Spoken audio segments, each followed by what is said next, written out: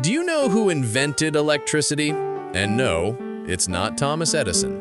While he maybe didn't invent it as much as discovered it, Croatian inventor Nikola Tesla was a genius. Born in 1856 in a small village in Croatia, Tesla's mind was a whirlwind of innovation. His biggest breakthrough? Alternating current, or AC. Unlike Edison's DC, AC could travel vast distances efficiently, making modern power grids possible. But Tesla wasn't just about power, he dreamed of a wireless world.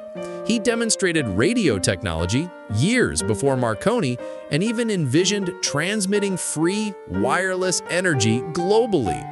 His ideas extended to remote control, X-rays, and even robotics. Tesla truly saw the future, sketching out concepts that would take decades, even centuries, to fully realize. A true visionary, Nikola Tesla lit up the world, laying the groundwork for almost every piece of technology we use today.